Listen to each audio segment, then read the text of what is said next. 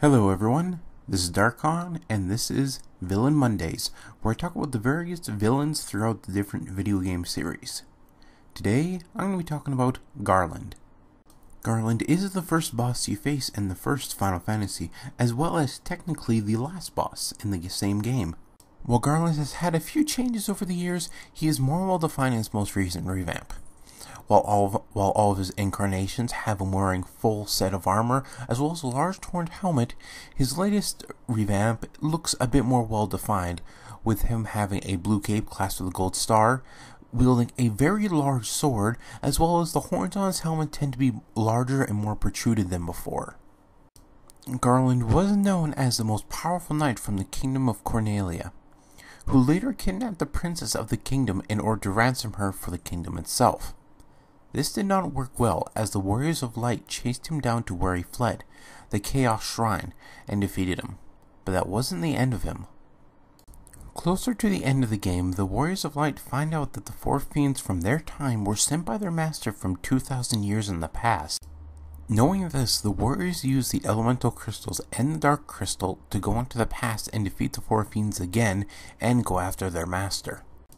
As it turns out, their master is none other than Garland himself, who sent the Four Fiends into the future, so when he is defeated the first time, he is sent back into the past to do the same thing.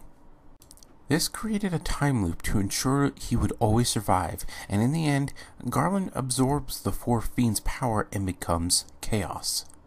However, with, the, with his defeat, the time loop becomes broken and the Warriors of Light return to their time.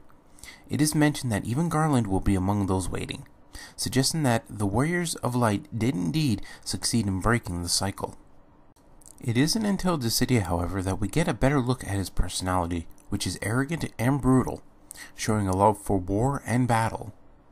It is also implied that his love for such things are his way of dealing with being stuck in such a time in such a time loop, where cosmos and chaos fight over and over. This gives us the feeling that he has no free will of his own, and for some reason, he feels that he has no right to such. This last bit might imply that he is somewhat either a defeatist of sorts, realizing that no matter what, the cycle will happen again and again. Or it could also mean that he might regret some of the things he has done or knows he will continue to do because he feels that he has no choice nor free will.